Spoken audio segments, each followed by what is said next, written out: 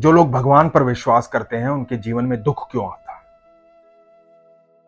और यदि दुख आ भी जाता है तो क्या यह निश्चित है कि सुख आएगा? कब आएगा सुख? और कैसा सुख होगा वो? क्या दुख सच में खत्म हो जाता है? यदि जानना चाहते हो तो यह प्रसंग बड़े ध्यान से सुनिएगा कि क्यों आता है दुख? किस लिए आता है दुख? हरे कृष्ण दोस्तों, मैं हूँ अनुज शर्मा। भगवान के एक भक्त हुए सदावर्ती महाजन। बहुत पहले की बात है।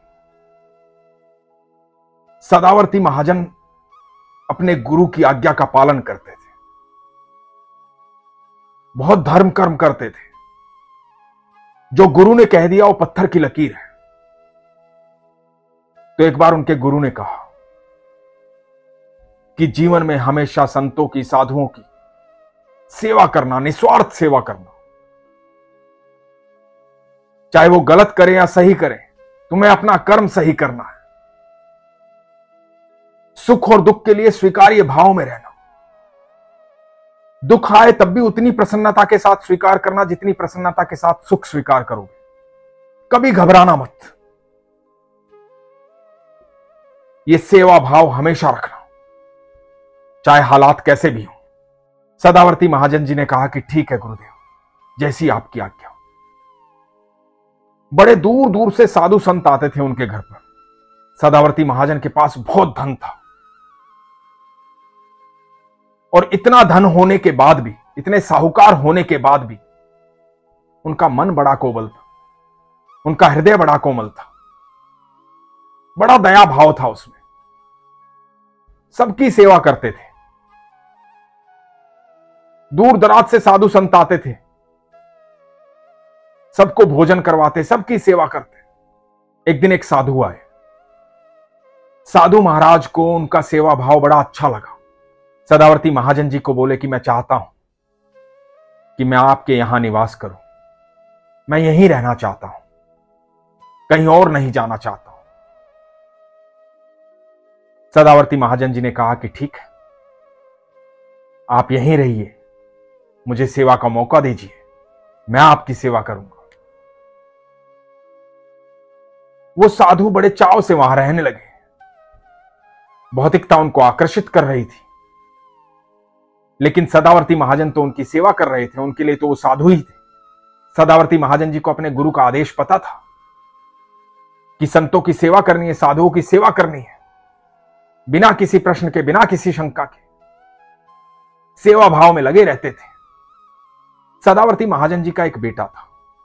बेटे के साथ ये जो साधु इनके यहाँ रुके थे, इनका बड़ा प्रेम हो गया। उसके साथ खेलते थे। उसके साथ बैठते थे, बातें करते थे, घूमने जाते थे। सदावर्ती जी को यह देखकर बड़ा अच्छा लगता था कि एक साधु के साथ मेरा बेटा रहता है, अच्छे संस्कार मिलेंगे अच्छा ज्ञान प्राप्त होगा। एक दिन ये साधु सदावर्ती महाजन जी के बेटे को जंगल में लेकर गए। सदावर्ती महाजन जी का बेटा बहुत आभूषण पहनता था क्योंकि पिता बड़े साहूकार थे। धन धान्य की कमी ही नहीं थी। तो इन साधु के मन में लालच आया। लालच आया तो इन्होंने इनके बेटे की हत्या कर दी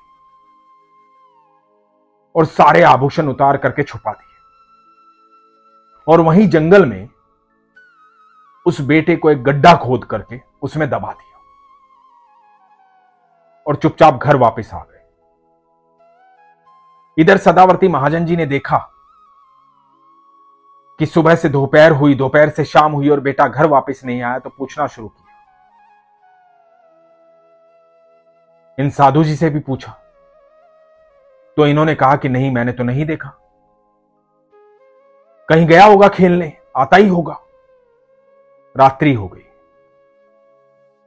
चिंता बढ़ती जा रही थी, अगले दिन की सुबह हो गई। समझ में नहीं आ रहा था। सदावर्ती महाजन जी ने ढिंडोरा पिटवा दिया।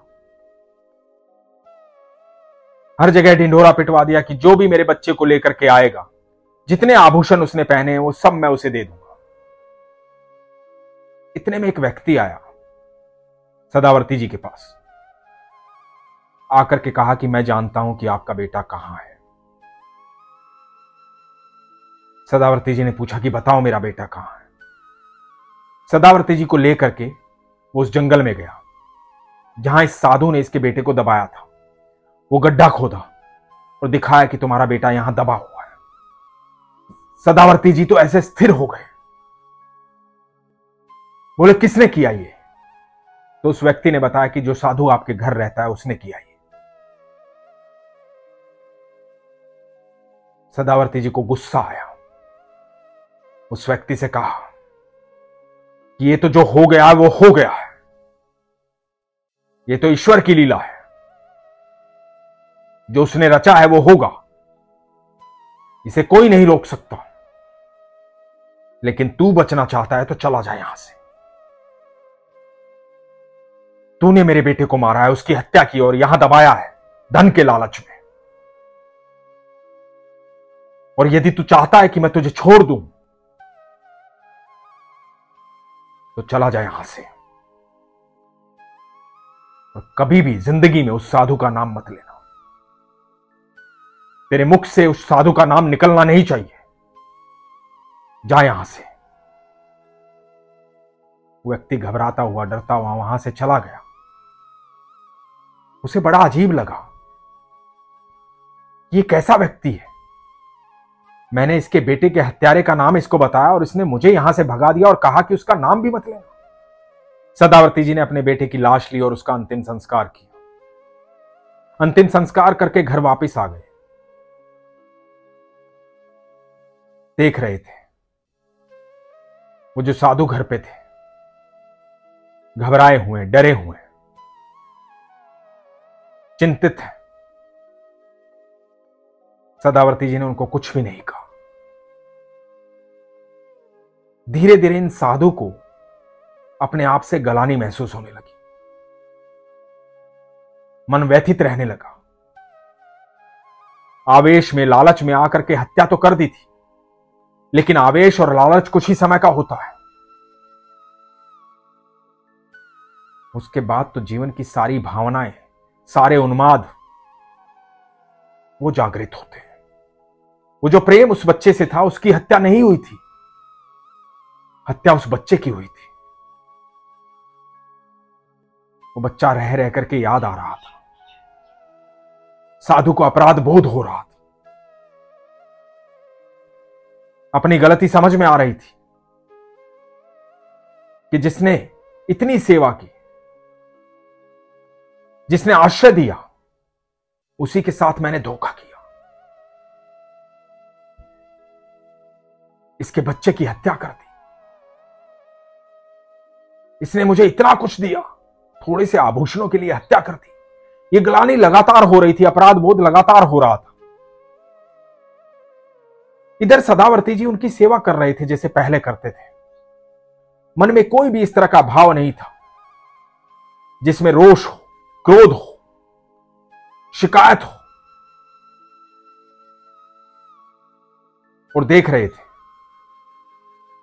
किस तरह निरंतर वो साधु अपने आप भीतर ही भीतर दुख में घुलता जा रहा है। चेहरे का तेज खत्म हो रहा है। शरीर ढल रहा है। तो एक दिन सदावर्ती जी की पत्नी ने कहा कि साधु महाराज अत्यंत दुखी हैं, परेशान हैं, सच्चे व्यक्ति हैं,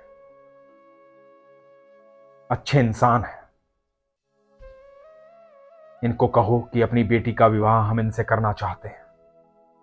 सदावर्ती की पत्नी नहीं जानती थी, जो सदावर्ती जी जानते थे। फिर भी सदावर्ती जी ने कहा कि ठीक है।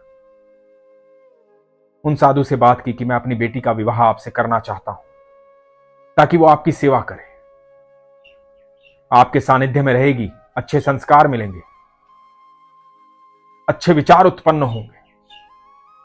और आपसे अच्छा सानिध्य कहीं मिलेगा नहीं। आप जैसा पति, उसे कहीं मिलेगा नहीं। तो मेरी यह प्रार्थना स्वीकार करें। यह बात सुनकर साधु जो है, अपने भीतर जब झाँक कर देख रहा था तो लगातार अपने भीतर ही भीतर भीतर ही भीतर खत्म हुए जा रहा था। सोच रहा था कि हो क्या रहा है। ऐसा व्यक्ति कैसे हो सकता है कोई? अपने ही पुत्र के हत्यारे को अपनी बेटी सौंप रहा है। लेकिन साधु कुछ कह भी नहीं पा रहा था। हाँ, मैं गर्दन हिलाई। सदावर्ती जी बड़े प्रसन्न हुए। अपनी पत्नी को बताया कि साधु महाराज मान गए हैं। अपनी बिटिया का विवाह इनसे कर देंगे। इधर अचानक से सदावर्ती जी के गुरु महाराज आ गए। गुरु महाराज आए, सदावर्ती जी ने उनका चरण स्पर्श किया, आशीर्वाद लिया। गुरु महाराज जी ने कहा कि, सदावर्ती, तुम्हारा पुत्र कहाँ है? सदावर्ती जी ने कहा कि, वो तो भगवान को प्यारा हो गया है। तो ईश्वर के पास चला गया, वैकुंठ चला गया।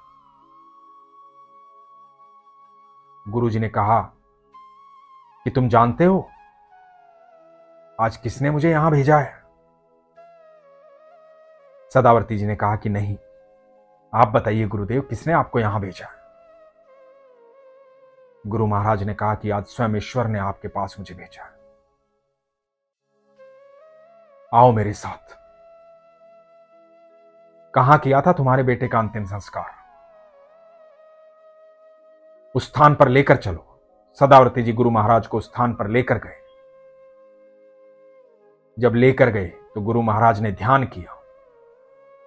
और ध्यान किया तो सामने सदावर्ती जी को उनका बेटा दिखाई दिया। जीवित बिल्कुल पहले जैसा। गुरु महाराज ने कहा कि सदावर्ती, ये तुम्हारी परीक्षा थी। तुम परीक्षा में उत्तीर्ण हुए। जो भी व्यक्ति सुख और दुख को समान रूप से स्वीकार करता है। जो भी व्यक्ति दुख में भी वैसा ही महसूस करता जैसा सुख में महसूस करता है। उसे भी भगवान का आशीर्वाद मानता है। उससे भगवान अति प्रसन्न होते हैं। जिसके मन में कोई स्वार्थ नहीं होता, निस्वार्थ होता है, सहज होता है स्वीकार्य भाव रखता है, मन में यह भाव रखता है कि सुख देने वाले ईश्वर हैं। तो दुख भी तो उन्होंने दिया है। और यदि उन्होंने दुख दिया है तो इसके पीछे कोई कारण होगा। और ईश्वर हमेशा दुख उसको देते हैं, जिसे वो सक्षम बनाना चाहते हैं, जिससे बेहद प्रेम करते हैं। ईश्वर जानते हैं कि किस व्यक्ति को मैं उतना सक्षम बनाऊँगा उतनी क्षमता दूँगा जो उसे संभाल पाएगा। उसे वो दुख देते हैं। दुख वास्तव में हमारे निर्माण का कारण बनता है। सुख का कारण बनता है। तो जीवन में आपके दुख आ रहा है तो उसे सहर्ष स्वीकार करो। और जान लो कि यही आपके सुख का कारण है। यदि दुख आ रहा है तो जान लो कि ईश्वर आपसे अत्याधिक प्रेम करते हैं। आपको सक्षम बनाना चाहते हैं। आपको ऐसा बनाना चाहते हैं जैसा कोई और नहीं। उसके बाद सदावर्ती जी ने जीवन में सिर्फ़ सुखी सुख देखा। सिर्फ़ सुखी सुख देखा। उनके जीवन में कभी कष्ट नहीं आया। यदि जीवन भर सुखी होना चाहते हो तो आज जो दुख है उसका स्वागत करो और उसे सहर्ष स्वीकार करो। लेकिन यह होगा कैसे? जब आपका विश्वास सच्चा होगा, प्रगाढ़ होगा। इसीलिए तो कहता हूँ, अपने विश्वास को मज़बूत रखिए, अपना ख्याल रखिए। हरे कृष्ण।